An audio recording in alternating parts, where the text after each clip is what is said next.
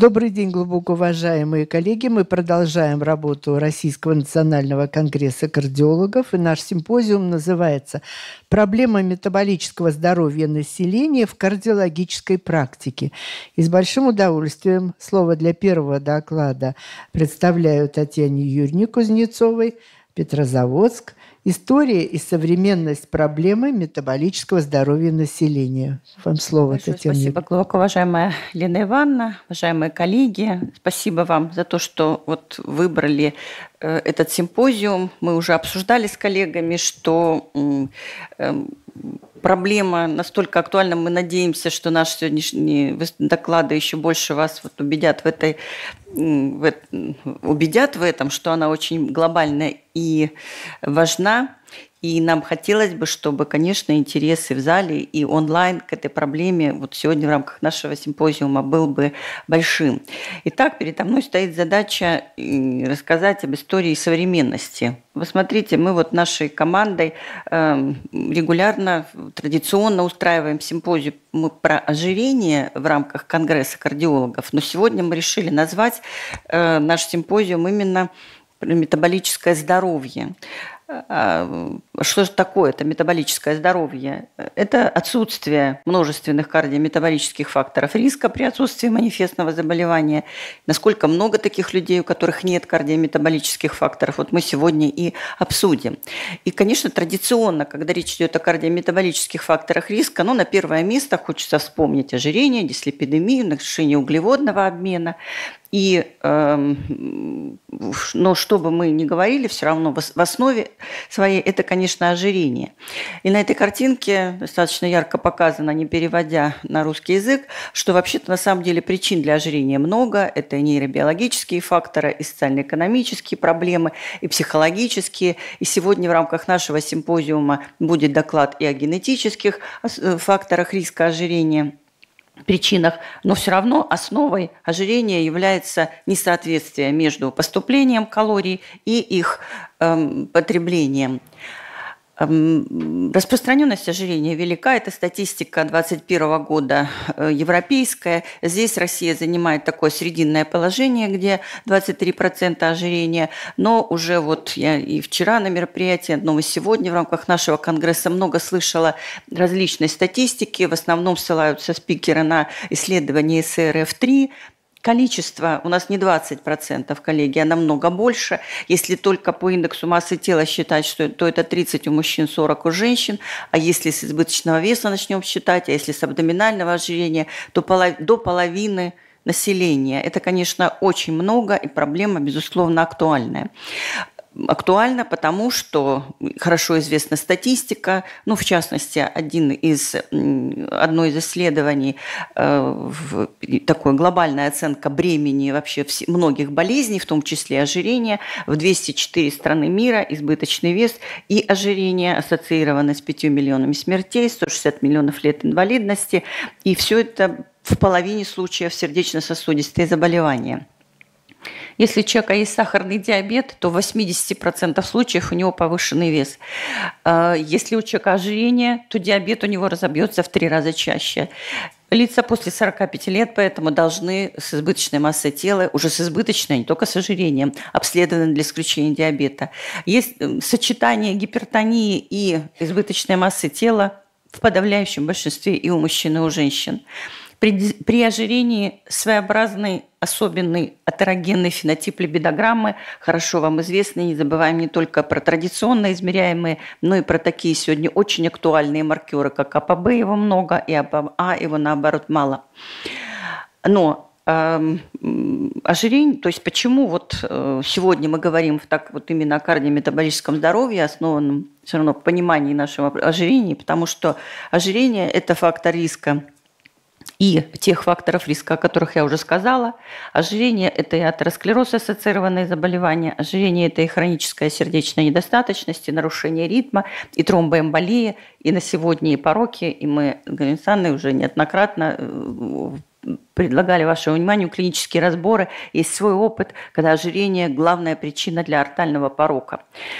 Поэтому, когда мы говорим о метаболических заболеваниях, на сегодня неправильно называть только нарушение обмена липидов, глюкозы, которые между собой ассоциированы. Метаболические заболевания – это те, которые и это все, что связано с ожирением. Это и атеросклероз ассоциированное заболевание, и гипертония, и, там, и метаболически ассоциированная жировая болезнь печени, и хроническая болезнь почек, и другие заболевания.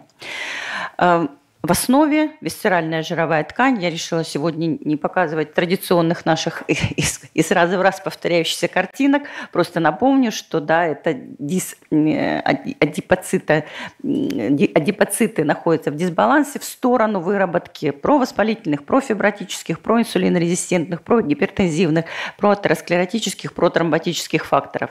И, конечно, говоря о вот этой взаимосвязи между ожирением и другими болезнями, мы должны вспомнить понятие метаболический синдром. Он э, пришел к нам из прошлого века, я тоже не буду тратить время на вот э, воспоминания, вы все это хорошо помните, что его называли метаболическим синдромом, потом называли синдромом X. Эм, термин «смертельный квартет» тоже отражает именно эту проблему.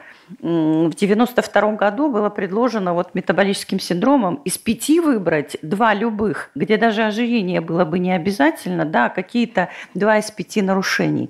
И за эти годы э, действительно представление о метаболическом синдроме но оно не то чтобы менялось, оно просто оставалось очень разным в разных э, рекомендациях, руководствах и странах. Очень небольшого по размеру таблица, возможно, вам не видно, но видно издалека, что вот наверху это несколько вариантов различных консенсусов, э, различных обществ, а по вертикали это различные компоненты, которые эти документы включают метаболический синдром. И сразу видно, что и количество э, признаков разное из документа в документ, и даже обозначение какого-то одного признака, ну, та же индекс массы тела, вот верхняя строка, разные цифры берутся за основу. Я уж не говорю про объем талии.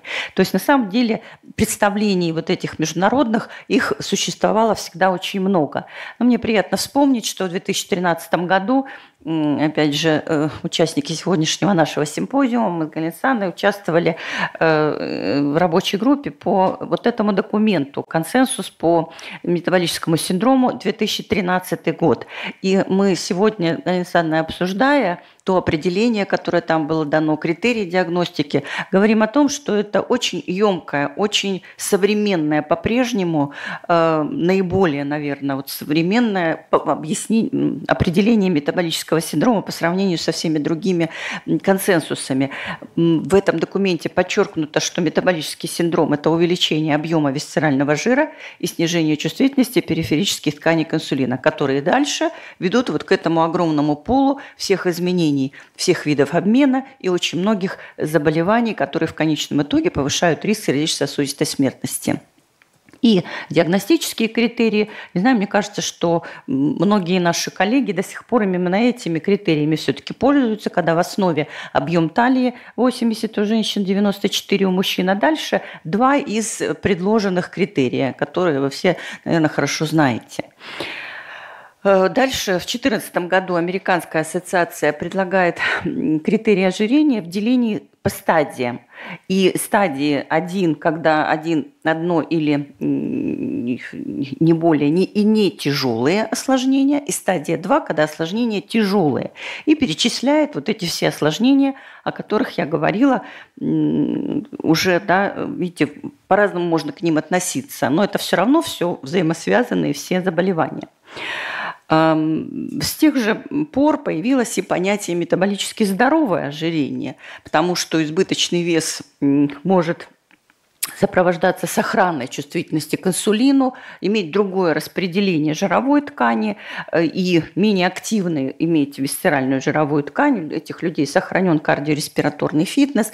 И, в общем, такой человек, возможно, меньше имеет риск, да, прогностически лучше, но все равно не совершенно безопасный. По этому поводу тоже много дискуссий за все эти годы проходило. Что же поменялось в этом году и почему? Я начала с того, что мы по-прежнему сколько бы ни говорили, не писали об этом, все равно считаем, что это сегодня очень актуальная проблема, и она каждый вот год, каждый раз звучит под какими-то разными, ну вот высвечивается с разных граней.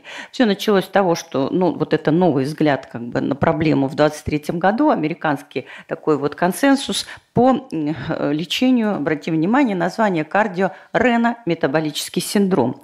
Э, что означает вот это добавление, дополнительно упоминание почек в этом названии?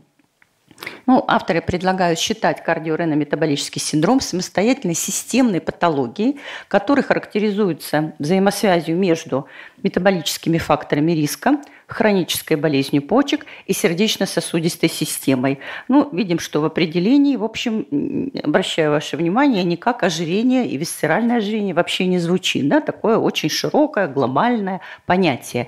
И включает, это могут сюда относиться или люди только с факторами риска и ХБП, или уже существующими сердечно-сосудистыми заболеваниями, но которые все-таки на фоне этих метаболических факторов риска или ХБП развились. И э, в этом документе есть картинка, которую мы уже в своей публикации перевели на русский язык, сделали вот такой, может быть, более конкретный. О чем речь идет? Когда синдром – это что такое? Это когда все равно наверху красный э, квадратик – это все равно висцеральное ожирение, которое дальше вниз ведем тоже красный квадратик по центру, это э, то, к чему приходит, приводит адипоцита, э, патия, адипозапатия – это воспаление, оксидативный стресс, это инсулинорезистентность, это эндотелиальная дисфункция, а дальше расходятся стрелочки к поражению всех органов и почек, и э, вот эти вот факторы риска там, о которых я уже говорила, другие, и в конечном итоге атеросклероз, прогрессирование сердечной недостаточности. Причем мы видим, что эти стрелочки все ну, такие двунаправленные, э, многие из них, вернее, когда эти заболевания сами друг друга поддерживают. И очень важный компонент синенький там наверху – это еще и метаболически ассоциированная жировая болезнь печени. Чуть позже э, расскажу, почему я на это обращаю внимание. Итак, Американские эксперты предлагают кардио-рено-метаболический синдром. И они предлагают делить его на следующие стадии. Ноль, когда его нет. Вторая, первая, когда это э, диагностированное ожирение. Вторая – это когда присоединяются факторы риска и ХБП, другие метаболические. Третье, когда уже появились субклинические поражения. И четвертое, когда есть клинические проявления сердечно-сосудистых заболеваний. На этом слайде более подробно они представлены. На что я хотела обратить внимание потому что будем потом комментировать это понятие. Ну, ноль, когда полное отсутствие э, вот всего этого, о чем я говорю, все время задаю всем вопрос, есть ли такие вообще люди вокруг нас, если есть, мы за них, конечно, очень сильно порадуемся. А, но это не наш с вами да, вот, контингент, которым мы работаем.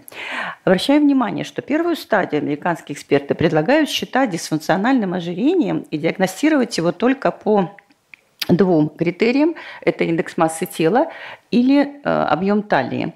Ну и добавлять на этом же этапе э, увеличение уровня глюкозы или гликированного гемоглобина. Дальше уже на второй стадии они считают присоединение других метаболических факторов, диабета, гипертонии – и дальше, ну, более нам понятно, субклинические э, сердечно-сосудистые заболевания, ну, например, да, это повышенный коронарный кальций, например, это бляшка, и, э, например, повышение э, тропонина, но или эхокардиографические критерии, но без проявления клиники, или, ну, вот очень высокий риск по шкалам. И, наконец, четвертое, они предлагают стадию, когда уже появились клинические проявления.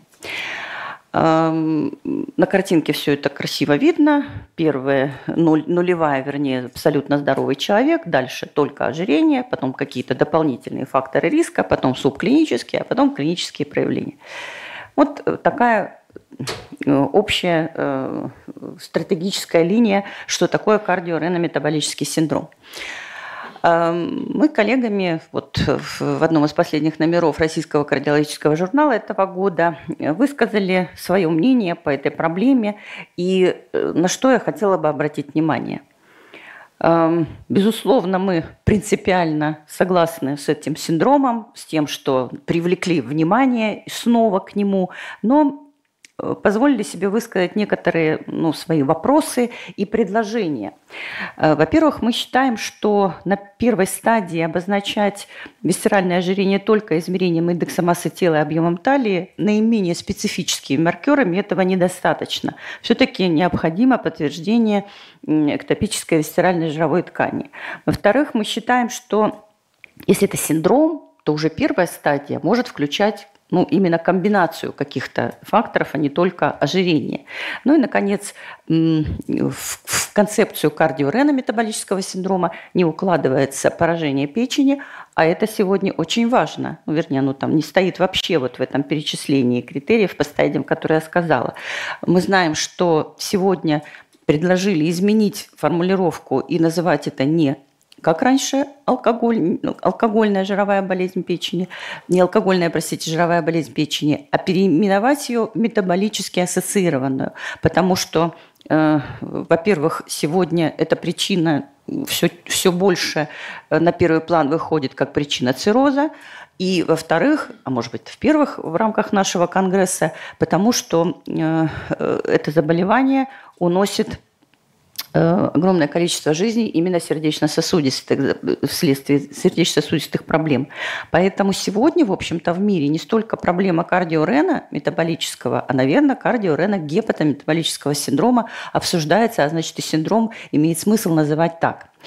Эм, и еще одна европейская публикация, которая посвящена этой же проблеме. Мне кажется, очень такой яркая картинка, которая эм, прекрасно иллюстрирует по центру вот этот пожар в виде ожирения и висцерального, и ассоциированного с ним хронического воспаления, а вокруг порочным кругом все основные органные поражения – сердце, почки, печень и сосуды. Но хочу сказать, что уже ведь с 2018 года нами была предложена такая вот пошаговая стратегия именно оценки риска сердечно-сосудистого при ожирении, где мы предлагаем 6 шагов, на котором в первом, да, конечно, нужно измерить объем талии, индекс массы тела. Но на первом и на втором, вернее. А на третьем мы уже все-таки давно об этом говорим. Необходимо подтверждение вот этого висцерального ожирения. Насколько это сложно для того, чтобы вот из, из раза в раз говорить, но реально в жизни, в общем, не особенно видеть. На самом деле нет ничего сложного. Это важно, во-первых, потому что при одинаковом индексе массы тела, при одинаковом объеме талии, все-таки риск сердечно-сосудистый может быть разный. И о том, что нужно диагностировать висцеральное ожирение, говорим не только мы. Э, много методов для этого существует. Ну, например, ультразвуковые, и в частности эхокардиография. Метод э, широко распространен, наименее, ну, наиболее доступный, наименее дорогой по сравнению со всеми остальными. Да, он зависит от того, какой оператор делает. Да, он не все объемные показатели считает и не все выявляет эктопические жировые депо, но это простой доступный метод. Классически, э, ну, наверное, более красивые картинки и более объективные мы получим с помощью компьютерной томографии, которая тоже, в общем, сегодня распространена. У нас много, э, где стоит компьютерный томограф, и там уже можно измерить, вот получить такую красивую картинку, измерить и перикардиальный, и эпикардиальный жир, и, и ну, отличить его от подкожного, переваскулярный, э, периортальный и, в общем, много других локализаций, посчитать точно объемы и сказать, насколько это опасно. Есть другие, а ультразвук Э, насколько ведь тоже ведь э, какого там года 23-го э, да, методические рекомендации, но я не знаю, насколько они широко вошли, ведь совершенно четко написано нашими с вами коллегами, что можно взять датчик и поставить его не только на ну, стандартно выполнив эхокардиографию, но еще несколько позиций и измерить эпикардиальную жировую ткань, сегодня можно и подкожную, ну, для того, чтобы перитониальную жировую ткань отличить и э, висцеральную абдоминальную клетчатку померить, и э, периренальную, и параренальную забрюшинную висцеральную ткань измерить. И в этих же рекомендациях написаны четкие критерии. И, конечно, мы понимаем, что ультразвук, да, оператор зависимый, аппарат зависимая процедура, но если поставить это на поток в одном и том же кабинете, да, в каком-то, ну, выделить конкретного, может быть, да, оператора, который это будет делать, то мы вполне можем ориентироваться на полученные данные и включать его в наши стратегические уже ну вот, действия с этим, с нашим конкретным человеком. Он еще даже может не пациент, а просто человек, который мимо проходил, считает себя здоровым. Магниторезонансная томография – прекрасный метод, ну, без радиации, тоже с возможностью объемного подсчета висцеральной жировой ткани, но, конечно, не везде доступный и достаточно дорогой. Ну, еще менее доступная, наверное, позитронная эмиссионная томография, тоже, в общем, методы, э, которые не сильно распространены. Вполне можем ограничиться ультразвуком, и уже вот в прошлой версии нашей пошаговой предложенной э, стратегии оценки риска мы предлагали на четвертом шаге диагностировать именно висцеральное ожирение вот этими методами – а потом, ну да, пожалуйста, э, оценивать э, и субклинические, и клинические органные поражения, ассоциированные с ожирением.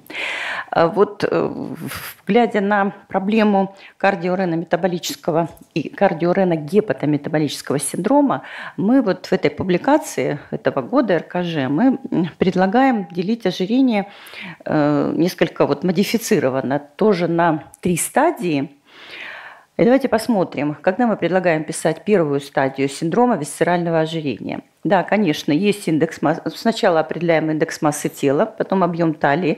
И хотя бы один какой-то прямой критерий висцерального ожирения. Ну, ультразвуковой как наиболее э, нам доступный. Дальше, в сочетании вот этот вот висцеральное ожирение нами диагностированное с двумя критериями из следующих. Либо Метаболические нарушения у человека уже есть диабет или преддиабет, или есть какая-то ну, э, гликемическая, но уже инсулинорезистентность. Дислепидемия – это может быть низкосистемная воспаление. И сегодня все, уже сегодня э, слыш, видела и слышала примеры наиболее широко использовать высокочувствительный цереактивный белок для стратификации риска и артериальная гипертензия. То есть таким образом мы, в общем, считаем, что вот это понятие, это не одно висцеральное ожирение, а уже на первой стадии мы констатируем, что у человека есть вот этот синдром кардиореногепатометаболический. На второй стадии Э, к вот этим критериям первой присоединятся какие-то субклинические поражения. Ну, какие? либо э, атеросклеротическая бляшка, либо аномально высокая артериальная жесткость, либо то, что, я так понимаю, в утвержденных критериях новых по хронической сердечной недостаточности должно войти в нашу э, повседневную жизнь термин предсердечная недостаточность, когда мы говорим о ее факторах риска. Хроническая болезнь почек на уровне еще 3А-Б, э, альбуминурия высоких градаций и вот это самая метаболически ассоциированная жировая болезнь печени, пока еще нет печеночной недостаточности. Тогда это будет вторая стадия. И, наконец, третья стадия – когда дополнительно к критериям первой мы уже видим клинику атеросклероз ассоциированных заболеваний, клинически значимую уже сердечную недостаточность, фибрилляция предсердий, более продвинутую стадию ХБП, четвертой, пятой стадии, или протеинурию, а не просто альбуминурия небольших градаций, и метаболически ассоциированная болезнь печени, когда уже есть нарушение ее функции с печеночной недостаточностью. Ну и вот нам кажется, что вот такой подход, он, ну, мне кажется, и простой, а самое главное, более такой объективный и, ну, действительно ставящий все точки над «и», что перед нами человек именно с кардиорено гепатометаболическим синдромом. И тогда формулировки диагноза первую стадию пишем, когда э, мы нашли висцеральное ожирение. В данном случае сделали, например, эхокардиографию, нашли эпикардиальное ожирение. Вторую стадию напишем, если плюс к абдоминальному, ну вообще к какому-то висцеральному доказанному ожирению нашли, например, бляшку. И третью стадию, когда у этого человека мы дополнительно выявили фибрилляцию предсердий, диагностировали ХСН первой стадии, и это уже собственно, проявления органные, клинические. Таким образом, а, ведь этот человек, мы никогда с вами не решим проблему кардиореногепатометаболического синдрома, если будем вот только на симпозиумах э, кардиологических об этом говорить. Этот человек появляется на приеме и у терапевта, и у кардиолога, и у нефролога, и у ревматолога, и у эндокринолога, и у гинеколога или андролога, у гастроэнтеролога, еще очень многих других э, людей. И э, вот очень много разных проявлений, но мы должны как-то понимать, что мы все вместе должны это одним диагнозом писать. И в каждом кабинете вот этого врача какие-то совершенно одинаковые давать рекомендации. Но только тогда, наверное, ну, как-то сдвинем эту проблему э, с мертвой точки хотя бы в понимании представления нашего об этом синдроме. А как с ним бороться, ну, нам дальше Калин Сана расскажет. Спасибо, коллеги. Спасибо большое, Татьяна Юрьевна. Уважаемая Татьяна Юрьевна обозначила проблему, кто виноват. Да. Но прежде чем Галина Александровна ответит на вопрос, что делать, какие вопросы есть аудитории к Татьяне Юрьевне? Есть ли вопросы? А у меня к организаторам просьба, закройте, пожалуйста, окна, угу. очень холодно, они открыты, фрамуги. Да. Есть у нас вопрос? Да, пожалуйста. Да, пожалуйста. А будьте добры, в микрофон, потому что у нас идет трансляция. Сейчас принесут микрофон помощники. Спасибо большое. Татьяна Юрьевна, спасибо большое за этот удивительный доклад. Э, вот э, такой вопрос. Нам все-таки считать абдоминальное ожирение э, с каких моментов? То есть окружность талии больше 100, 102 сантиметра у мужчин или больше 94? То ну, есть в общем, вот... 80-94. Да, потому что... Это вот... жестоко, я понимаю. Но да. что делать? Да, все-таки... Ну, вот просто слайд, э, вот, угу. где дисфункциональное ожирение указано, у вас там было указание, что больше 102, ну, и для ну, азиатов. это разные консенсусы, а, это... разные документы разных э, обществ, да, то есть действительно, как кто-то за 100 берет, за 102, кто-то берет за 80, разные страны, разные общества, эндокринологические, просто Всемирный организатор хранения. Ну, мне кажется, что мы вот опираемся вот на тот документ 13 года наш, он, на мой взгляд, вот он основной. То есть там какая цифра? 80 у женщин и, и 94 и, мужчин. Ну, то есть э, я вопрос ваш понимаю, потому что за критерий истинного просто абдоминального ожирения все-таки понимается 88 и 102. Да. Но в критериях метаболического синдрома, ну, как бы менее жесткие критерии. То есть там как раз 80-94. А вот если просто человек, у которого нет пока никаких метаболических нарушений, в принципе-то мы должны брать 88 для женщин, 102 для мужчин. Или нет? Ну, Или вот, уже мы свою коллеги, предлагаем? Спасибо за дискуссию. Мы, наверное, все-таки, не знаю, Галина Александровна поддержит меня или нет, все-таки мы же говорим сегодня о выделении этого синдрома именно в рамках оценки риска сердечно-сосудистого. А тогда э, за риск все-таки у нас тогда все-таки 80-94. Но это наше мнение, мы на да. него имеем право, безусловно. Да. Спасибо. Еще вопрос есть? Угу. Вопросы еще в аудитории? Вопросов нет, Татьяна Юрьевна, спасибо большое. Галина Санна сейчас ответит на вопрос, что же, что же делать. Э, Галина Санна Чумакова, э, да, там микрофончик есть, возможности профилактики и перспективы лечения метаболических заболеваний в кардиологии. Пожалуйста, Барнаул.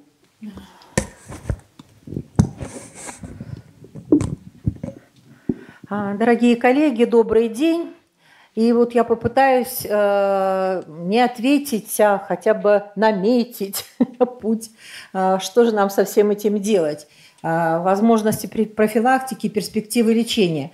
Но начну я с парочки слайдов, которые уже показала Татьяна Юрьевна, чтобы просто оттолкнуться, э, сделать шаг к моему разговору. И хочу еще раз вам показать вот это определение, которое э, прозвучало в 2013 году – больше 10 лет тому назад в наших российских рекомендациях по метаболическому синдрому.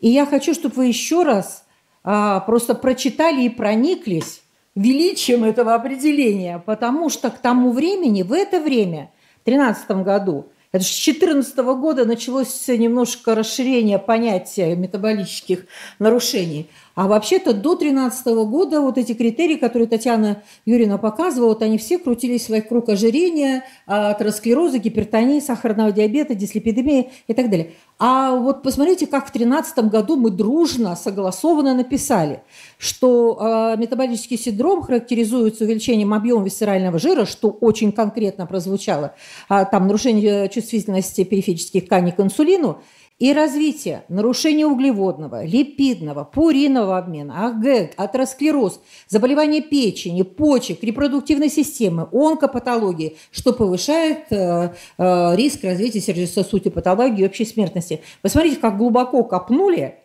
и поэтому я даже прямо сейчас говорю о том, что мне вот сейчас тенденция появилась, и даже что-то у нас вроде как рекомендации будут готовиться, хотя вряд ли можно сейчас именно как рекомендации, какой-то согласительный документ написать по кардиорена э, гепатометаболическому синдрому.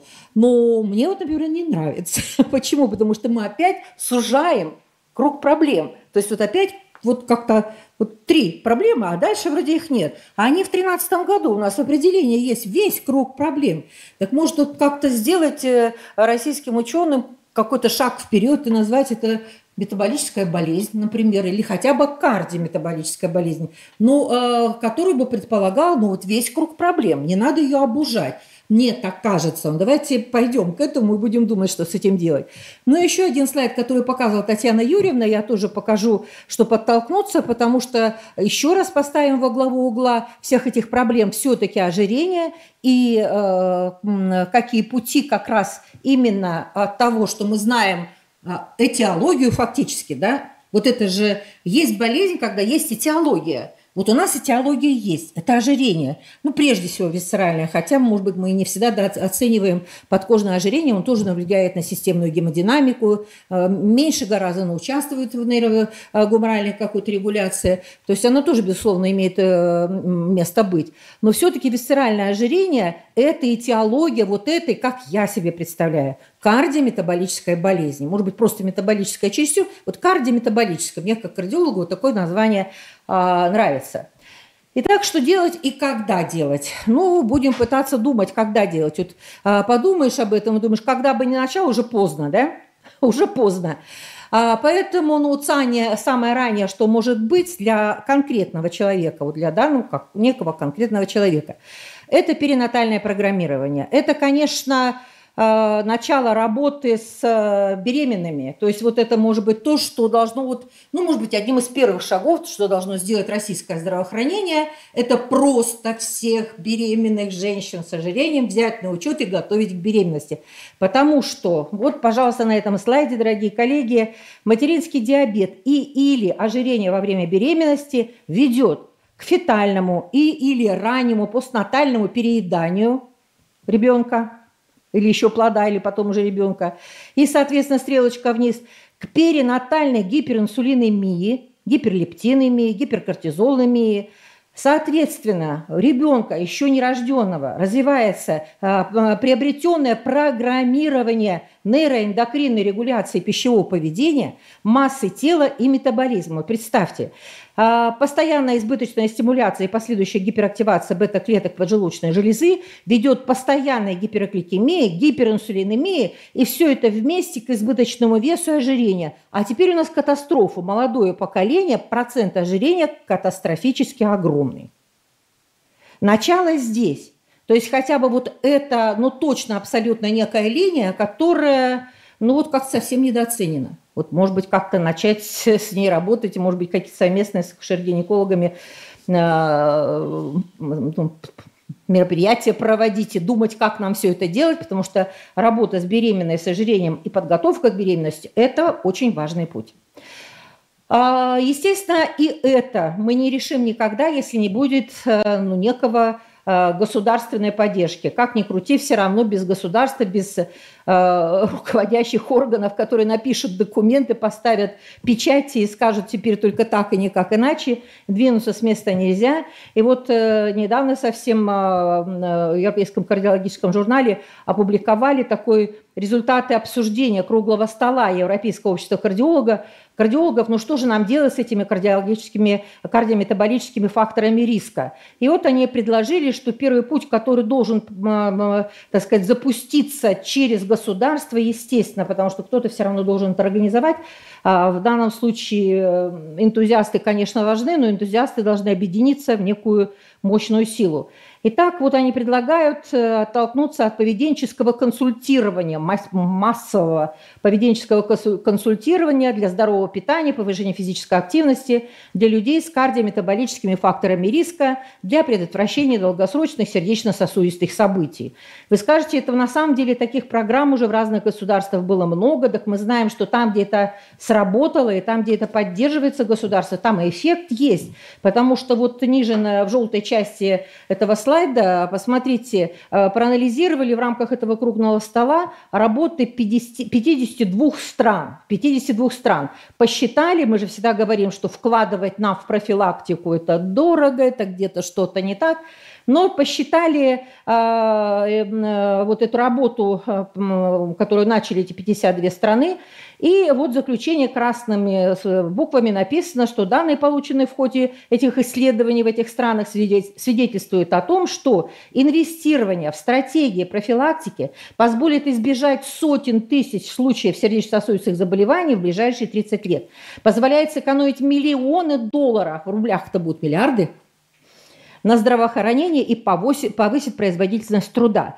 Вы понимаете, когда начинаешь считать с деньгами, то оказывается профилактика-то ведь это очень а, эффективная и очень дешевое вложение. Ну, говорить-то с пациентом самое дешевое, что может быть, а результат может быть поразительным. Хотя у нас, конечно, центры здоровья вот понасоздавали, не знаю, как вас, но вот у нас я как бы не чувствую, что это как-то хоть, хоть сдвинуло бы с места вот это главное, то есть массовое объяснение, разговоры, доказательства, как э, э, населению не просто двигайся, не просто ешь правильно, а, а объяснение каких-то тонких вещах, о которых я вам сегодня вам расскажу, потому что, может быть, если бы и врачи бы знали, вот те тонкие механизмы, как вот работа со здоровым, на здоровый образ жизни, на что может повлиять, ты просто поражаешься, откровенно говоря. А, ну, до этого еще доберемся. А что значит государство? Потому что не каждый отдельный врач, не каждое отдельное лечебное учреждение может вот это обеспечить, да, то, что вот на этом слайде, потому что маркировка пищевых продуктов, указание там ценности продуктов там в меню, в кафе, в ресторанах, ну, должен какой-то приказ, да, что только так и никак иначе. Пропаганда здорового, здоровья СМИ, ну, не так, что, опять же, надо там двигаться, надо правильно питаться, ну, какие-то более конкретные вещи, вот о которых я немножко расскажу. А, если уж физическая активность назначается, то какие-то, опять же, как, что, где, методы контроля. Но то есть э, вот это те вещи, которые ни один терапевт на участке не сделает. То есть э, даже будет он даже 30 минут ему дай на прием никто никогда не даст. И все равно у него не хватит времени вот это все рассказать, объяснить, потому что в конце концов человек еще пришел с болячкой, ее тоже надо лечить. Уже надо лечить. Поэтому э, Татьяна Юрьевна тоже это, говорила, что а, реализовать такой, почему у нас, допустим, наверное, может быть, не пошло, вот эти центры здоровья создали, ну, такой вот тот максимальный ответ, который бы хотели мы, ну, не был получен. Почему? Ну, может быть, потому что команды не было. Команды не было, подготовленных специалистов, которые стали работать в центре здоровья. Туда просто пришли врачи, им сказали, вот что у них теперь будет в этом направлении, а их-то кто-то должен научить был, прежде чем ты сам будешь вещать и чего-то там делать, ты сам-то научись. Поэтому сегодня, конечно, вот в рамках э, того, что стали изучать э, вот то, что Татьяна Юрьевна рассказывала, попытки как-то классифицировать заново все эти метаболические нарушения и так далее – постоянно везде во всех этих документах обращается внимание на то, что ну, работать с, с пациентами должна некая команда специалистов, которые готовы в этом направлении работать. Не случайные люди, не вчерашние ординаторы, может быть, ординаторы, но, может быть, такие, которые я расскажу, откуда взявшиеся ординаторы. Ну, а просто вот закончил институт, обычная такая э, по лечебному делу ординатуры, потом прийти вот что-то пытаться э, там, работать с пациентами с метаболическими фактами риска – а, их слишком много и подходы слишком разные, это, это практически невозможно. Поэтому сегодня и встает вопрос о том, что команды этим должны заниматься. Люди, которые могут правильно а, говорить о здоровом жизни. Если назначать физические тренировки, это должен быть специалист в этой области. Если специальные препараты, но опять же должен быть человек, фармаколог, клиницист, фармаколог, который подготовлен именно в этом направлении. Думаете, у нас э, а, терапевты и даже кардиологи так хорошо знают, как бороться с тем же ожирением, с какими-то другими метаболическими факторами. Риска нет, это все-таки какая-то отдельная специальности. То, что Татьяна Юрьевна рассказывала, что такой больный терапевту пришел, она его к урологу, онкологу, э, с конца начинаю, да, но тем не менее гип, там, гепатологу, э, бог знает еще эндокринологу, конечно, и так далее. Пока все этот круг весь обойдет, пока из всех везде в очередях постоит и везде получит свои заключения, пойдет, придет к этому терапевту, он уже забыл про него, о чем, собственно говоря, хотел этот больной. Вот э, этот, э, что он хотел от этого больного. Поэтому вот это какое-то междисциплинарное взаимодействие команды, готовые бороться с метаболическими нарушениями, вот в это, собственно, все упирается. Это на Западе поняли. И вот как они поняли, что они сделали, я тоже вам покажу. Итак, дорогие коллеги, а, вот я когда готовилась э, э, к многочисленным нашим уже с Татьяной Юрьевной и вебинарам, и вот к публикации этой по метаболическому здоровью, честно говоря, вроде и знаешь, про что физические тренировки полезные, детали знаешь какие-то, но тем не менее, погрузившись во все это, я просто была в шоке, откровенно говоря, до какой степени мы недооцениваем то, что о чем так мельком говорим по больному. Ну, двигаться надо. Ну, ну да, кислорода будешь больше поглощать, да, вроде так все. А вот теперь посмотрим на эту картиночку, дорогие коллеги. Кардиопротективные механизмы физической активности. Что могут сделать только физические тренировки? Только. Психологические, социальная адаптация, психосоциальный стресс, снижать депрессию. Антиаритмические, антитромботические, тонкие механизмы со стрелочками ниже. Антисклеротические, гемодинамические – просто физические тренировки, но назначено грамотно, как положено, и это э, э, уже удивляет, но удивляет еще больше другие моменты. А как это происходит? Ну, каким образом физические тренировки могут запустить такую цепь протективных эффектов, э, ну, просто всеобъемлющих, всеобъемлющих, и вот э, одна из публикаций крайне интересная э, о том, что, оказывается, э, не только висцеральный жир, мышцы – это тоже мощный нейроэндокринный орган. И он вырабатывает специфические миокины, которые являются вот этими как раз сигнальными молекулами, которые через активацию физического движения активируют выработку других нейрогуморальных факторов, которые запускают цепь чрезвычайно протективных эффектов. Ну вот э, по этому списочку э, центрального большого квадратика справа вы смотрите, давайте хоть что-нибудь э, э, вспомним. Ну вот, например, э, миокины, которые вырабатываются в скелетной мускулатуре при физической активности, не больше и не меньше, как вырабатывают, стимулируют выработку онкостатина М, который ингибирует рост опухолевых клеток молочной железы. Нормально. А, или, допустим, там вырабатывает нейротрофический фактор головного мозга, вот самое нижнее, который увеличивает пластичность головного мозга, нейронность, нейронные связи, их выживаемость повышает обучаемость и память. Вот наши пожилые да, теряют э, свою ментальную функцию. Э, ну, кроссворд это, конечно, хорошо, а двигаться, оказывается, надо. Более того, э, миокины стимулируют выработку и резина, у него много действий, в том числе и резин стимулирует как раз выработку этого нейротрофического фактора. Хотя мы долгое время э, знали о том, что резин вообще-то у него другая вроде как работа, и резин это стимулятор браунинга, да, браунинга, то есть покоричневение белой ткани. Это что такое? Он активатор э, синтеза э, митохондрии, активации их действия. Митохондрии – это термогенез, это энергия, это похудение. Поэтому резин, пытались даже препараты был, была такая идея, да, меня что-то как-то не реализовалось, на основе резина создать препарат лекарственный для, для снижения веса.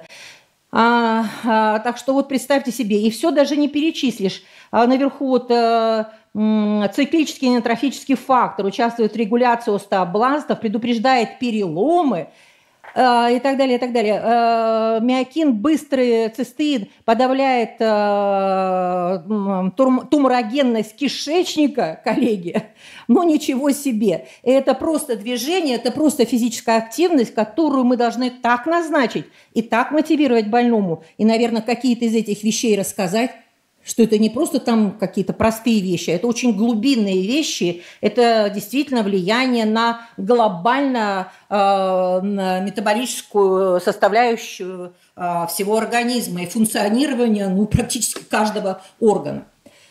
Э, ну, а мы обычно достаточно судим об этом примитивно, но, как всегда, по конечным результатам. А ну, конечные результаты впечатляющие. Вот э, на данном слайде вы видите, что эффекты физических тренировок, они по ВОЗовским рекомендациям у нас определены, вот эти, да, в любой рекомендации вы напишите, сколько надо двигаться, там эти 150 э, минут э, хотя бы 2-3 раза, лучше каждый день в неделю, э, ну, то есть это тот минимум. Так вот, есть данные о том, что если хотя бы вот этот минимум соблюдать, вот строчка соответствующая рекомендация ВОЗ, физическая активность, да, а, уже сердечно-сосудистый риск, э, даже смерти, риск смерти даже снижается. Более чем рекомендует ВОЗ, но надо планомерно к этому прийти, снижается очень сильно, максимально снижается сердечно-сосудистая смертность. Но если не выполняются эти рекомендации, посмотрите, как э, или даже отсутствует физическая активность, ну, бытовая, вот мы там что-то по дому там двигаемся, считаем, что это тоже э, физическая активность. На самом деле нет. И поэтому э, вот этого позитивного эффекта от физических тренировок э, ожидать невозможно. Ну, я уже не буду повторять механизмы, на предыдущих слайдах мы э, уже это обсудили более, более-менее подробно о том, как работают физические тренировки. Ну, только вот красным цветом выделила освобождение экзаркинов, да, это вот специфические такие сигнальные молекулы, которые Э, запускает цепь метаболических позитивных событий э, при физических тренировках. Но вот миокины – это тоже экзаркины. То есть вот это, все это очень тонкие метаболические эффекты, как работают физические тренировки. Ну и, кстати говоря, все-таки какой метод контроля должен быть за теми физическими тренировками? Мы вот с Татьяной Юрьевной не раз на разных конференциях докладывали, рассказывали, как нужно тренировать, какие методы контроля, да, вот, и как, как разговаривать при этом с больными, а то они начинают двигаться, вроде что-то там тренироваться, а вес не снижается, все катастрофа, значит, неэффективно. Мы всегда правильно, Татьяна Юрьевна, абсолютно мы, так сказать, здесь э, совершенно одинаково э, представляем э, о том, что надо следить не столько за весом, сколько за объемами за объемами, да, и вот окружность талии, а, вот буквально документ 2020 года, да, где целый консенсус тоже предложили по контролю за физическими тренировками и вообще за, по контролю за эффективностью метаболических вмешательств всевозможных. Так вот, окружность стали они предлагают считать жизненно важным показателем консенсусное заявление рабочей группы по атеросклерозу и даже по висцеральному ожирению. Отдельная рабочая группа уже в Европе существует. То есть они предлагают как минимум, как минимум, конечно, идеально это контроль Э, висцерального, конкретных параметров висцерального ожирения, потому что мы все знаем, что окружность стали это э, суррогатный маркер а, а, подкожное плюс висцеральное ожирение, то есть это не только висцеральное. И он может, конечно, так сказать, путаницу некоторую вносить, вносить, но если хотя бы по нему мы будем следить за эффективностью наших Э, рекомендации по здоровому образу жизни, это уже будет кое-что, хотя более тонкие вещи мы должны осваивать. И все, что Татьяна Юрьевна говорила о э, внедрении в реальную клиническую практику методов оценки висцерального ожирения, будем надеяться, доживем. Все-таки у нас даже вышел документ, да, как это делать из очень уважаемого учреждения. Но, во всяком случае, тем не менее, дорогие коллеги, возникнет такая концепция, что через вот механизмы здорового образа жизни физические тренировки лишь часть этого цепи э, компонентов здорового образа жизни, они э, э, позволяют нам управлять системной биологией здорового долголетия и благополучия. То есть есть такая системная биология, то есть вот эти все нейрогуморальные факторы, о которых я говорил, что за ними стоит неформальные вещи, а очень тонкие механизмы как организм запускает этот нормализу, нормализацию метаболизма, запускает э, э, те эффекты, о которых мы говорили, вплоть до противоопухолевого процесса. Они все имеют не какое-то там теоретическое придумали, вот сказали. Нет, вполне конкретные нейрогуморальные факторы, которые за эти вопросы отвечают.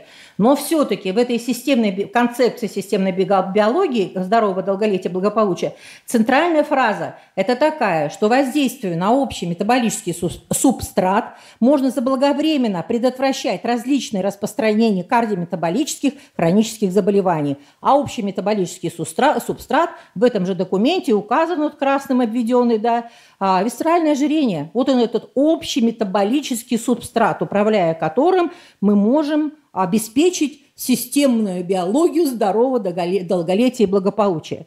Поэтому на этом слайде уже, извините, без перевода, потому что все слова очень простые и понятные нам всем, в эту понятие входит не только физические тренировки, естественно, а входит понятие здорового питания, диетических ограничений и очень большое внимание метаболическому, ментальному, извините, здоровью, о чем мы, так сказать, считаем, что это кто-то должен, но только не мы, рассказывать нашему пациенту, как поддержать вот это здоровое долголетие, благополучие и ментальное здоровье. А, Татьяна Юрьевна немножко об этом говорила, да, вплоть до медитации, занятия там искусством, рисования, конечно, коммуникации – Э, правильное дыхание, то есть вот какие-то такие вещи, которые пожилым людям, да и не только пожилым, объяснять, объяснять надо как. А то мы факт, так сказать, говорим факт. А как это все делать и где бы кто бы этим занимался. То есть множество открылось центров э, у нас, например, э, коммерческих – ну, чем угодно, но только вот этим же тоже можно за деньги заниматься, раз уж так денег хочется, ну, в конце небольших, но это, тем не менее, отдача будет колоссальная. То есть, э, и вот э, идя по этим всем стрелочкам, которые от этой системной биологии здоровья, долголетия, благополучия а, идут, э, вы придете, что все вместе вот эти вот воздействия, которые указаны через уменьшение висцерального ожирения, они снижают воспаление, инсулинорезистентность, уровень глюкозы, а, там, э, кортизол, э, гиперактивность симпатической нервной системы а, и так далее. И э, как, как факт, как итог, вот эти все тонкие механизмы приводят к уменьшению жировой болезни печени, э, нефропатии, кстати говоря, ренометаболические, ишемической болезни сердца, сердечной достаточности, сосудистых заболеваний, инсульта, э, сосудистой деменции, фибрилляции предсердия, эректильной дисфункции, рака, э, хроническая, э, как он это у гинеков-то, а? Синдром поликистоз. Синдром поликистозных яичников, а, а соответственно, деторождение, да. Поэтому, дорогие коллеги, ну вот такая схема, вот мне кажется, прям под, э, где-то на стенке каждому э, повесить и больным по ним показывать, и самим всегда думать, что мы там за каждую проблему хватаемся помаленьку, а вот она, центр метаболического здоровья, а глобально здоровье вообще, потому что похоже дело к тому, что метаболическое здоровье в значительной степени определяет здоровье нации на сегодняшний день. Вот так что эта проблема-то вот такая. Вот. Ну и сегодня, конечно, масса, масса публикаций, пытаются все еще на более ранних этапах находить маркеры метаболического нездоровья, где-то, чтобы совсем рано там пытаться в будущем хотя бы что-то делать. Ну вот э, э сейчас у нас даже диссертация кандидатская – в процессе подготовки, э, посвященной микровизикулам, которые приобрели особый интерес в связи их роли в метаболическом гомеостазе и сердечно-сосудистой физиологии.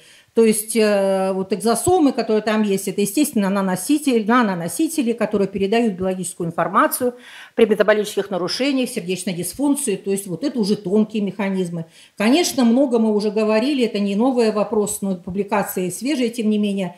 А, триметиламин, э, продукт э, работы микробиоты, да, микробиоты.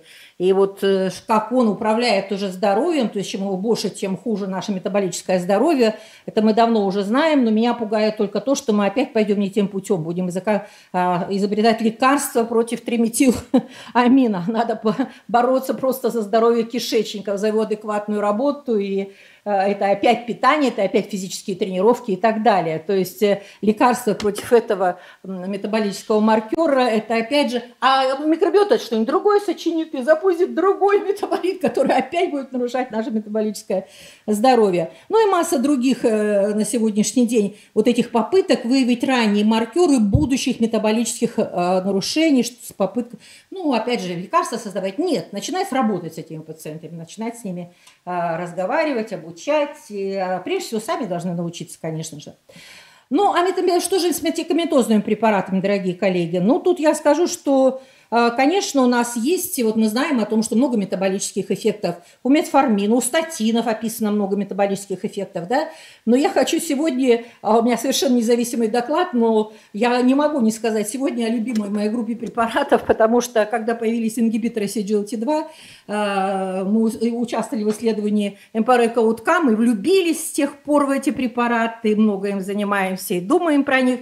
Вот. И уже тогда было понятно, препарат это очень хитрые, они обладают массой кардиопротективных, нейропротективных действий, жировую массу уменьшают, то есть у них какие-то есть совершенно уникальные эффекты, понять как-то все работает только.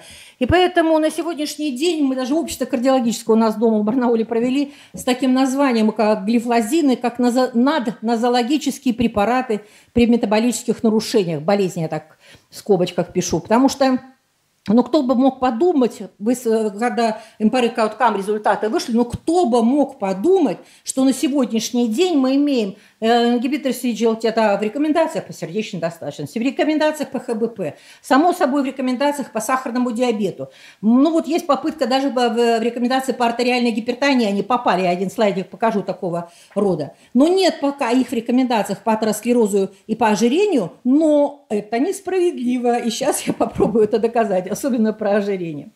А, ну вот буквально только покажу этот слайд, что касаемо прошлогодних. А, у нас в прошлом году вышли рекомендации не Европейского общества кардиологов, а Европейского общества по гипертонии. И вот они, посмотрите, они включили, красной линией подчеркнуто, ингибиторы CGLT-TA не только АРНИ, которых обсуждалось широко, а вот что надо ингибиторы, все знали, что начиная с эмпарега уткам снижают они давление. Ну и за счет диуретического эффекта, и за счет других эффектов э, протективных снижают артериального давления. Ну, как-то мало об этом говорили. А потом раз себе европейские э, гипертензиологи включили как дополнительный препарат ингибиторы CGLT2 свои рекомендации. То есть по особым показаниям мы можем, ну или во всяком случае, учитывать их антигипотензивное э, действие. Мы, конечно, обязаны.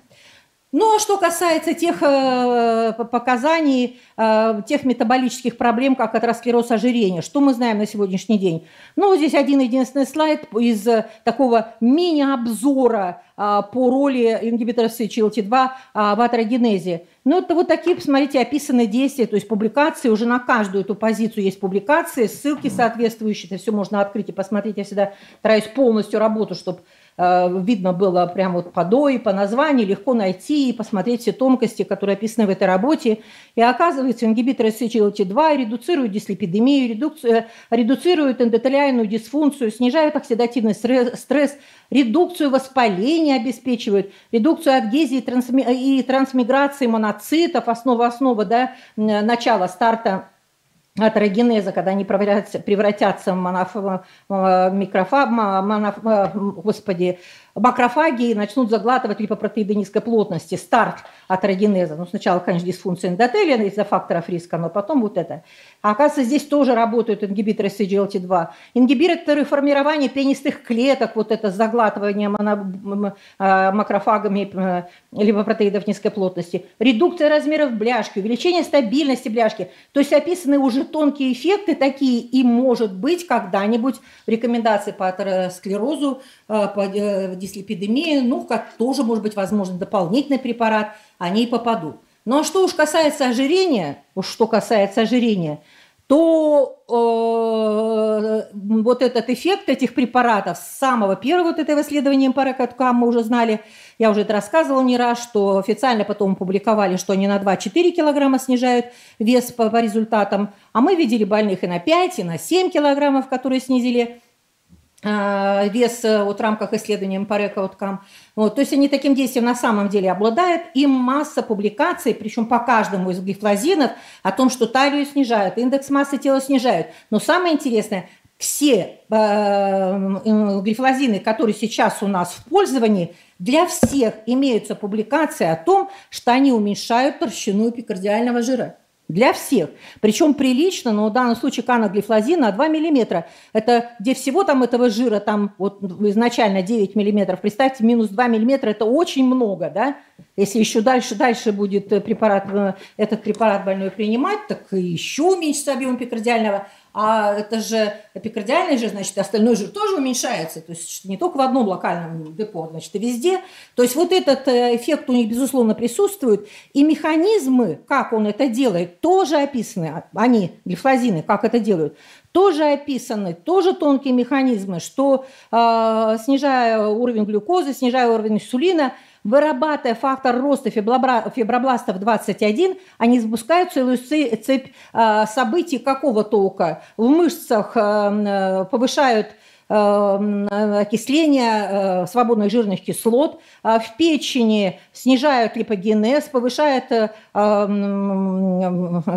уровень бета, увеличивают бета-оксидацию, Естественно, в печени же идут процессы, а, жира там более чем достаточно, и э, ну, вот как раз активация а, разобщающего белка, белка 1 митохондрий а, в печени запускает процесс вот этого браунинга, покоричневения, о котором я уже рассказывала, термогенез, пожар, пожар везде в бурой жировой, бурой жировой клетке. Если браунинг запущен, то а он тоже, кстати, физическими э, тренировками запускается, потому что активирует вот эту выработку разобщающего белка, один митохондрий, а, то белая жировая ткань начинает превращаться в бурую и уменьшается в размерах ну и так далее. То есть, дорогие коллеги, то есть механизм, как это делают, делают глифлозины, тоже понятен, написан, доказан во многочисленных исследованиях. Я только прям по верхушкам это рассказала. Поэтому на сегодняшний день вот я считаю, что глифлозины стали первыми наднозологическими препаратами,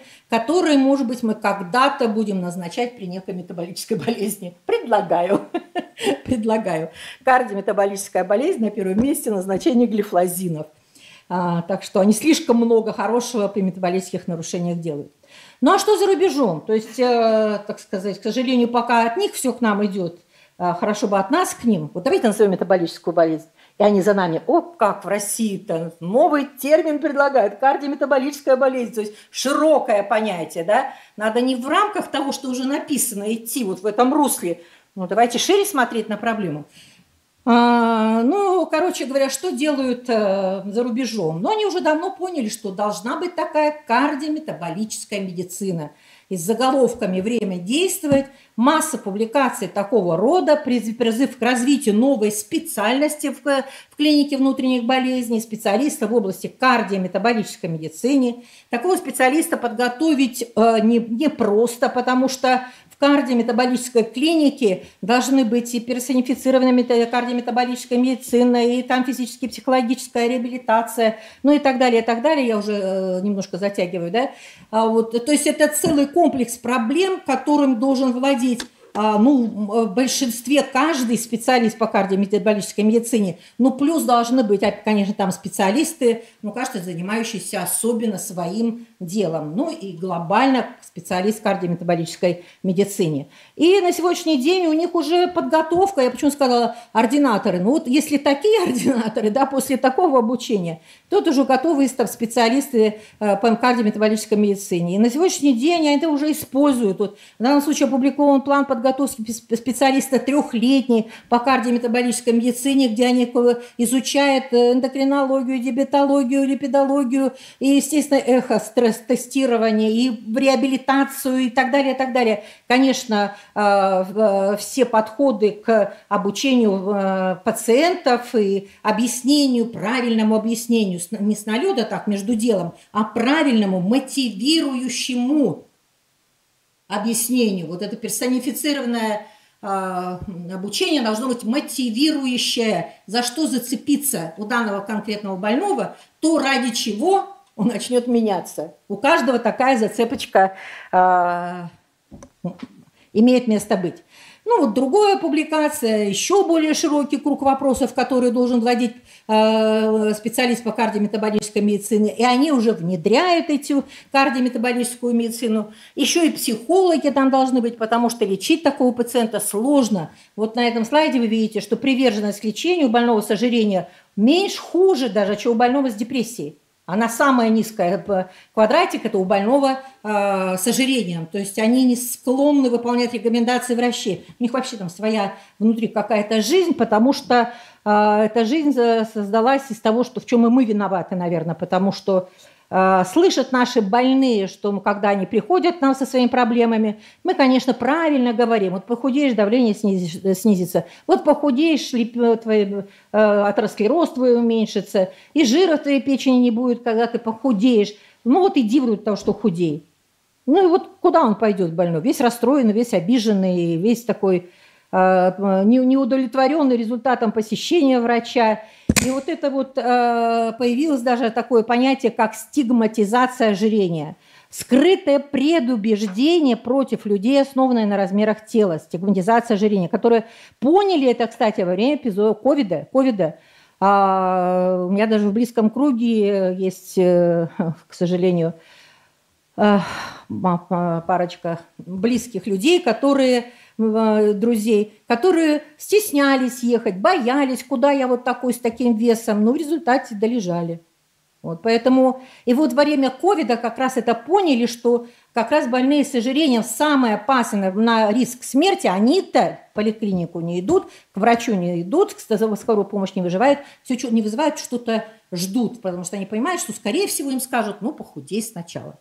А как, что, никто ничего не расскажет. Поэтому вышел даже такой консенсусный документ, а, международное консенсусное заявление о прекращении стигматизации ожирения. Вы должны относиться как к болезни. Я всегда говорю, мы же не говорим больного с э, гипертонией или с атеросклерозом. Ты сначала своими факторами риска справься, да, которые привели к этой болезни, а потом мы тебя полечим. Мы же так не говорим. Значит, надо и с этими пациентами разговаривать как э, со сложной, трудноуправляемой болезнью, и э, с максимальным вниманием и заботой, и с объяснениями, мелкими шажками все-таки пытаться идти с ними вместе здоровья и ни в коем случае не отводить их от медицины. Поэтому, дорогие коллеги, может быть, и у нас когда-то будет за рубежом, есть кардиометаболические центры, где все специалисты разных специальностей и глобальный специалист по кардиометаболической медицине больной только сунулся туда со своими проблемами, и все их проблемы стали комплексно решать. Поэтому вот это наша теоретическое будущее, которое уже а, за рубежом реализуется. Ну и завершить, я всегда говорю, что вот у меня, у меня любимая фраза, которая когда-то я вот из этого документа отчета Национального форума по а, заболеваниям сердца и инсульта американского 17 года нашла вот эту фразу, она меня впечатлила, и поэтому я многие доклады заканчивают именно этой фразой, что ожирение медленно уничтожает прогресс, достигнутый в снижении сердечно-сосудистых заболеваний. Но сегодня, дорогие коллеги, я хочу нас закончить на оптимистической э, фразе, на оптимистических вещах, потому что вот буквально э, уже в январе 2024 года в Европейском кардиологическом журнале вышла такая статья, которая, название которой «Изменение образа жизни пациента с сердечно-сосудистыми заболеваниями. Никогда не поздно перейти к здоровому образу жизни». И что под этим имеется в виду? Что вот, э, ну, детали этого исследования уж не буду рассказывать, а, а значит, э, четыре группы пациентов проанализировали. Устойчиво здоровый образ жизни, верхняя строчка, да, во всех подразделах, а, устойчиво нездоровый образ жизни. И внутри между ними человек взялся за себя улучшение в сторону формирования здорового образа жизни. Сегодня, завтра мы с вами с утра начинаем жить здоровым образом жизни. Вы знаете, как радикально и быстро меняются все причины смерти. Идеальная, конечно, а, устойчиво здоровый образ жизни, наименьшая смертность. Но посмотрите, там, где улучшается а, оранжевый квадратик, улучшили образ жизни и уже двинулись в сторону уменьшения всех причин смертности. То же самое касается сердечно-сосудистой смерти, то же самое касается сахарного диабета. То есть никогда не поздно в любом возрасте с э, любым индексом массы тела, с любым объемом метаболических заболеваний, никогда не поздно. 2024 год, Европейский конгресс, э, Европейский кардиологический журнал. А, так что всем здоровья, легкого сердца и благополучия. Спасибо. Э, спасибо большое, Галина Санна. Не уходите, пожалуйста. Есть ли вопросы в аудитории?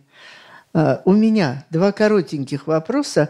Первый, как вы относитесь все-таки, вы не назвали этот класс препаратов к агонистам глюкогон подобного пептида 1, они сейчас Off-label – это препараты для лечения диабета, но off-label очень широко ими пользуются для снижения веса. И второе – это бариатрическая хирургия, как относится? Ну, бариатрическая хирургия, честно говоря, сложно, потому что есть у меня люди, которые все равно все возвращается, если пищевые привычки не привычны, да. не, не Вот здесь командный созданы, подход да. именно да. нужен, Это психологи. просто помощь начать здоровый mm-hmm. образ жизни. Вот теперь тебе будет легче, ну начинай. Не начинают, mm-hmm. и все заканчивается тем же самым. Mm-hmm. Поэтому сама бариатрическая, бариатрическая хирургия хороша, но а, нужно еще консультирование больному, как вести себя дальше. Тогда это будет толк. Что касается Органистов. ингибиторов органистов глюконоподобного пептида, хорошо отношусь, но они еще того уровня значимости при метаболических нарушениях, того обширности значимости все-таки не достигли. Даже ХСН, тому пример и так далее. Спасибо большое. Мы немножко вышли из регламента. Галина Александровна, благодарю вас. И третье сообщение очень интересное, я надеюсь. Никулина Светлана Юрьевна, Красноярск. Генетические аспекты ожирения. Уважаемые коллеги, я вижу не очень хорошо, стану сюда. А вас не будет слышно. Ах, вы с микрофоном. Отлично, отлично, простите. Итак, добрый день, уважаемая Елена Ивановна, добрый день, уважаемые коллеги. Да, тема очень интересная. Сегодня говорили уже о э, персонифицированной медицине. И мне бы хотелось сказать немного о генетических аспектах ожирения. Ну, в 2022 году было уже рассказ, появилась вот такая цифра, что 2,5 миллиарда взрослых имеют избыточный вес. Это данные Всемирной организации здравоохранения, 75-я сессия Всемирной ассамблеи. Вы видите, из них 890 миллионов страдают ожирением. Распространенность 31% Юго-Восточной Азии и Африка, 67% регионы Северной и Южной Америки. Когда мы говорим об ожирении, сегодня было очень хорошо это сказано, что вы видите, что все зависит на самом деле от тех генов, которые передаются по наследству. То есть вы видите об эпигенетические механизмы ожирения. И, конечно, вот в левом верхнем углу это то, о чем мы сегодня разговаривали. Это внешние факторы. Это наш образ жизни, о котором мы сегодня говорили, о том, что мы должны перейти к здоровому образу жизни. И здесь указывается и стресс, и курение, и нездоровое питание и так далее. Но, тем не менее, генетические варианты, которые у нас заложены нашими родителями, заложены нашей семьей, наряду с явлениями общего дома, несомненно, создают определенный фенотип пациента с ожирением. В настоящее время обнаружено около 50 генов, варианты которых ассоциированы прежде всего с моногенным и синдромальным ожирением. Конечно, моногенное – это самый тяжелый тип ожирения, где идет, видите, нарушение синтеза белков сигнального пути лептин, меланокартин. И сегодня я бы хотела все-таки остановиться на ряде генов, как их называют прямо генов ожирения, которые – в настоящее время очень даже неплохо изучены и которые влияют на наш избыточный вес при определенных триггерах внешней среды. Итак, перед вами одни из этих генов, на которых я остановлюсь более детально. И вы видите, что определенные генотипы, то есть генетические варианты этих генов, дают тот или иной эффект, есть избыточное ожирение или нет – ожирения. Один из этих генов перед вами – это ген ФТО, он так и называется, ген ожирения, отвечает за регуляцию энергетического обмена и насыщения организма. Он связан с выработкой э, гормонов лептина и грелина. Вы прекрасно знаете, что это за гормоны. И давайте посмотрим на генетические варианты, которые изучены применительно к развитию ожирения. Итак, генотип ТТ, вы видите, он характеризуется нормальным количеством функционального белка, и у этих пациентов имеется норма или отсутствие предрасположенности к избыточной массе тела. Совершенно другой гетерозиготный генотип TA, вы видите, характеризуется тем, что существует предрасположенность к избыточной массе тела, и суточное потребление калорий у этих пациентов увеличивается на 125 калорий, вы видите, практически в сутки. И редкий гомозиготный генотип, то есть по редкому аллелю AA, 20% у этого гена – характеризуется тем, что отмечается низкая скорость появления чувства насыщения, выраженная склонность к избыточной массе тела и ожирению за счет сниженной чувствительности центра насыщения к лептину и грелину и склонности к перееданию. То есть таким образом по вот этим генетическим вариантам одного гена, гена ФТО полиморфизма РС 9939609, можно уже судить о том, как действительно этот человек при наших рекомендуемых диетических мероприятиях будет реагировать на то, что мы с вами рекомендуем. Следующий ген – меланокортикотропный рецептор четвертого типа – он кодирует рецептор, который относится к э, анорексигенной части регуляторного пути пищевого поведения. Преимущественно экспрессируется в клетках мозга, это понятно, где основной его функцией является регуляция потребления и расхода энергии. Точно так же были исследованы различные генотипы этого гена – Распространенный генотип ТТ, гомозиготный генотип, характеризуется нормальным количеством функционального рецептора, и эти пациенты при этом генотипе имеют отсутствие предрасположенности к избыточной массе тела. Но у других пациентов, посмотрите, гетерозиготный генотип TSC и э, гомозиготный генотип по редкому аллелю CC, они уже характеризуются высокой скоростью появления и низкой скоростью подавления чувства голода. Вот эти генотипы – это агрессивные генотипы, или мы можем сказать ассоциированы с развитием метаболического синдрома и ожирения. Дофамин – это Гормон предвкушения удовольствия является нейромедиатором, осуществляет передачу импульсов между нейронами, участвует в биохими- биохимическом обеспечении процессов, которые протекают в центральной нервной системе. Вы видите, что дофаминовая система ну, разнообразна. У нас выделяют 5 дофаминовых рецепторов. Вы видите, по количеству этих рецепторов на клетке они располагаются вот в такой последовательности. Наибольшее количество D2 рецептор, дальше D1 и дальше по порядку D3, D4 и D5. И, соответственно, генетические изменения дофаминового рецептора второго – это наиболее ну, вот такое персонифицированное исследования, которые касаются метаболического синдрома и ожирения. Давайте посмотрим генетические варианты. Итак, распространенный вариант GG характеризуется тем, это 67% населения, когда отсутствует психогенный фактор риска избыточного веса, поскольку нет склонности у этого генетического варианта к импульсивному приему пищи в ответ на стрессовое состояние и аддитивному поведению. А вот гетерозиготный генотип GA и гомозиготный генотип AA по редкому аллелю, вы видите, выявляется высокий риск избыточного веса, наблюдается склонность к импульсивному приему пищи в ответ на стрессовые состояния и аддитивному поведению.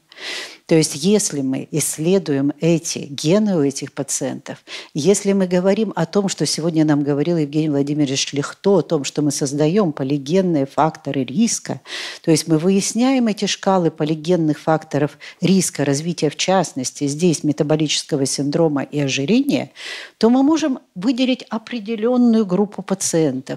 Это называется группа пациентов с факторами риска. И это не только те, которые уже имеют ожирение – но мы начинаем работать в ядерных семьях. То есть мы видим действительно папу, маму, страдающего ожирением. И вот когда мы берем, исследуем генетические факторы риска у детей, племянников и остальных членов семьи, и видим, что именно редкий генотип AA, гена DRD2, характерен для этого мальчика, который растет в этой семье, то вот, вот здесь мы персонифицированно должны проводить те диетические мероприятия и прочие мероприятия, которые действительно дадут эффект. И мы меньше беспокоимся о других вариантах этого гена. Еще один ген, мы его привыкли считать ген NDRB2, то есть ген бета-адренорецептора второго типа. На самом деле он характеризуется вот такой плеотропностью, этот ген. Э, полиморфизм этого гена влияет на развитие фибрилляции предсердий. Полиморфизм этого гена влияет на развитие синдрома слабости синусового узла, синдром брадитахикардии. И вот оказалось, что этот ген, определенные генетические варианты, определяют развитие метаболического синдрома и ожирения. Если мы с вами посмотрим гетерозиготный вариант CG и гомозиготный вариант по редкому аллелю GG, то мы увидим, что этот генетический вариант связан с выраженной предрасположенностью к абдоминальному ожирению за счет значительного снижения скорости расходования энергетических запасов. Ну, в названии понятно, что этот ген обязательно участвует в развитии метаболического синдрома. Ген транспортера глюкозы второго типа. Этот ген является переносчиком глюкозы, осуществляющим перенос глюкозы через клеточную мембрану. То есть это основной переносчик глюкозы между печенью и кровотоком. При исследовании как раз генотипов этого гена было также выяснено, что гомозигот, э, гомозигота по редкому аллелю ТТ имеет выраженную пациенты с этой гомозиготой имеют выраженную склонность к употреблению сладких продуктов за счет низкой рецепторной чувствительности глюкозе рецепторов языка. И опять же я говорю о том, что у нас теперь с вами есть определенная группа риска в ядерных семьях, где мы можем активно с этим работать. Еще один ген, ген-пролиферактор пероксисом гамма. И его гомозиготный генотип по редкому аллелю GG характеризуется предрасположенностью к нарушению функционирования рецептора, низкой эффективностью низкожировой диеты. Вот видите, мы сегодня рассказывали, да, нужно осуществлять диету, несомненно, смотреть за целевым показателем окружности талии. Но вот этот генотип характеризуется тем, что у них действительно низкая эффективность низкожировой диеты, но зато высокая эффективность физической нагрузки. То есть, опять же, я говорю о персонификации. Ген-переносчик жирных кислот полиморфизм РС-179-98-83. Опять гомозигота AA характеризуется высокой активностью функционального белка и выраженной склонностью к избыточной массе тела и ожирению за счет активного усвоения жиров, поступающих с пищей человека. Ген адренорецепторов бета-3 третьего типа.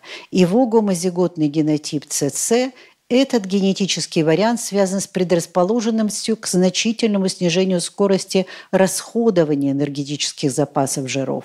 То есть это фактор риска избыточного веса и или ожирения. И в настоящее время в литературе, вы видите, появились вот такие замечательные рекомендации. Выбор спорта для снижения веса в зависимости от генотипа, того или иного гена. И вот я вам показываю гены бета-адренорецепторов, ген парак, ген ожирения ФТО, при полиморфизме которых указывается, что вот вы, молодой человек, будете заниматься силовыми нагрузками, а вы будете заниматься аэробными нагрузками, которые будут эффективны при полиморфизме э, распространенном этого гена. То есть вот она, персонификация медицины, что очень важно. И я бы хотела сказать о том, что вот совсем недавно я обнаружила, вот вы знаете, как-то не общала, не смотрела, но тем не менее обнаружила вот такое исследование 2011 года, где было показано курение и абдоминальное ожирение. Мы всегда привыкли к тому, что все пациенты, которые курят, то у них вес снижается. И они даже говорят о том, что я бросил курить, и вы знаете, вот поэтому я поправился-то. А на самом деле оказалось, что курение приводит именно к развитию абдоминального ожирения. По крайней мере, в этом исследовании была показана тенденция. Но не было выявлено, что анализ этого, я прямо дословно перевела отсюда, анализ исследований и другие ограничения не позволяют сделать вывод о причинно-следственной связи между курением и распределением ожирения.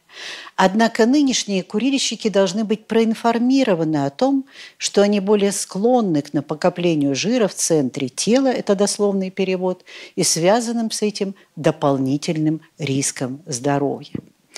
Ну, в связи с этим, конечно, несомненно, мы рекомендуем нашим курильщикам отказываться полностью от курения. Но, как, я думаю, у всех из нас существуют такие злостные пациенты, которых уговорить ничем невозможно. И, э, конечно, в этом случае мы рекомендуем не обычную сигарету, не электронные сигареты, а существуют даже электронные средства нагревания табака, которые мы тоже рекомендуем этим пациентам, поскольку они наносят меньший вред. И, конечно, в настоящее время в Европе вот появилась вот такая концепция снижения рисков применения, применительно к табакокурению. То есть Рекомендуется, что с точки зрения государственного регулирования необходимо внедрять наиболее строгие правила для горючих табачных изделий, что у нас это сейчас и делается.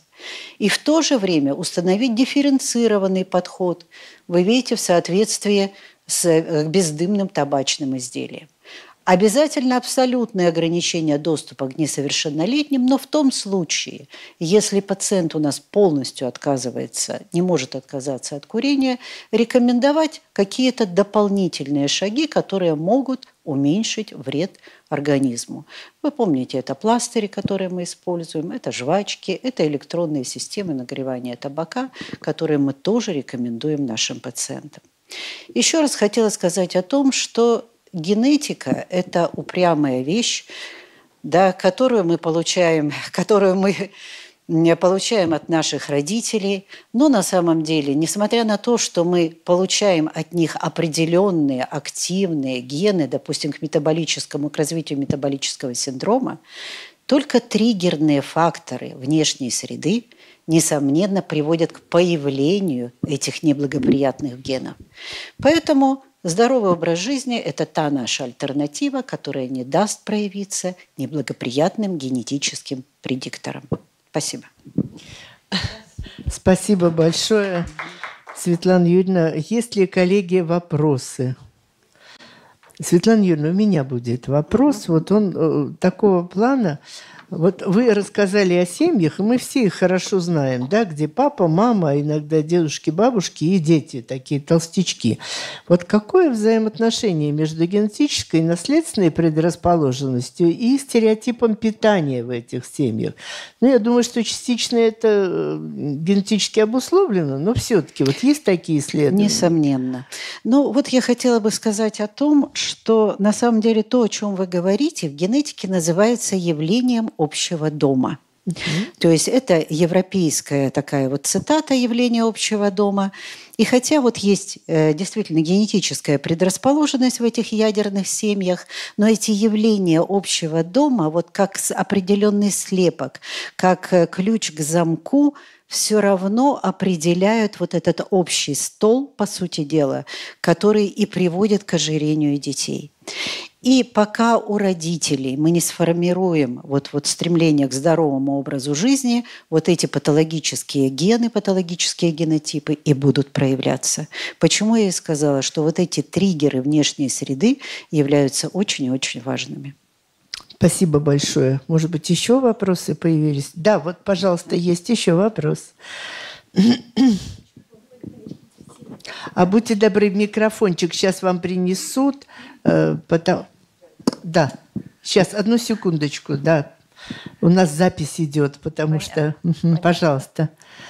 Я хочу поблагодарить всех-всех докладчиков. Я целенаправленно наметила посетить вот этот как раз симпозиум. Почему? Я профессор Евсеева Мария Евгеньевна из Ставропольского э, медицинского университета. И я последние вот два десятилетия занимаюсь доклинической диагностикой основных сердечно-сосудистых заболеваний, то есть 50, 40, 20, даже там 17-18 лет на наших студентах в плане вот их факторов риска. И, конечно, ожирение, конечно, это колоссальная проблема, начиная вот с первого курса, можно сказать. Я все ваши доклады очень внимательно слушала все они очень мне помогут, и моим ученикам. У меня целая исследовательская группа работает, молодых ученых в этом плане, каждый по своему направлению. Сейчас вот как раз мы наших генетиков из Северокавказского противочумного института привлекаем, чтобы вот, и, вот эти подходы хотя бы там в какой-то минимальной степени у наших студентов э, изучить изучить. Но вот я что хочу сказать, что вот это ожирение по нашим данным, эти данные мы уже начали публиковать, а, оно очень по-разному действует, оказывается, на разные структуры артериальной стенки – Мы последнее время начали не просто факторы риска, а мы начали ранние повреждения органов мишени пытаться изучить даже в 20 лет. И они там, оказывается, уже есть благополучно.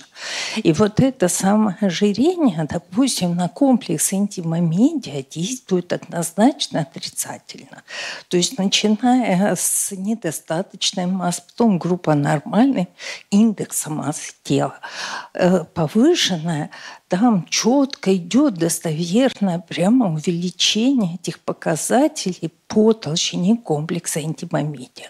Ну, это как бы ожидаемо было, это вот как бы э, себе представляли все в голове, и вот оно подтвердилось. А вот когда мы начали изучать все показатели артериальной ригидности, причем на аппаратуре японской, которая дает возможность определить не скорость распространения пульсовой волны, которая зависит, как известно, от уровня АД, момент измерения, а с помощью вот этого индекса КАВИ, КАВИ он называется, он не зависит от э, текущего АД. И вот там мы нашли, что у большинства э, молодых людей с избыточной массой ожирения идет улучшение этого показателя. Это, конечно, было очень неожиданно.